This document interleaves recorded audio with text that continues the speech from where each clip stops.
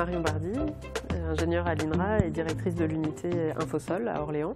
Dans le cadre de l'évaluation du département environnement et agronomie, j'ai contribué à la réalisation d'une étude ASIRPA sur les travaux menés par l'unité dans le cadre du groupement d'intérêt scientifique SOL.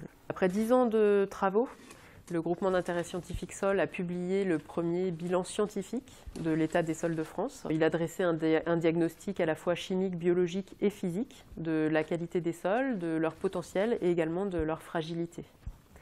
Alors les sols sont euh, dans l'environnement en position d'interface et du coup, euh, ils interviennent dans de nombreuses problématiques. Et l'étude ASIRPA a vraiment fait ressortir le fait que euh, les échantillons et les données sont utilisés par des utilisateurs très variés, qui sont par exemple des chambres d'agriculture, des bureaux d'études, des collectivités territoriales, des établissements d'enseignement supérieur.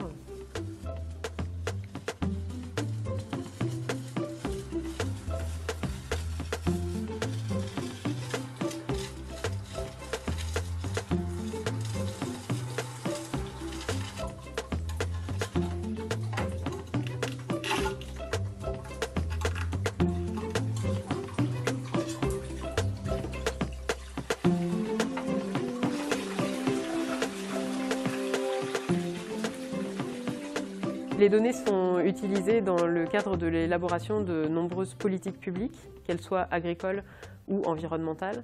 Il s'agit par exemple euh, des politiques concernant la délimitation des zones humides, euh, concernant la protection de certaines espèces comme le pélobate brun ou euh, la recharge des nappes phréatiques.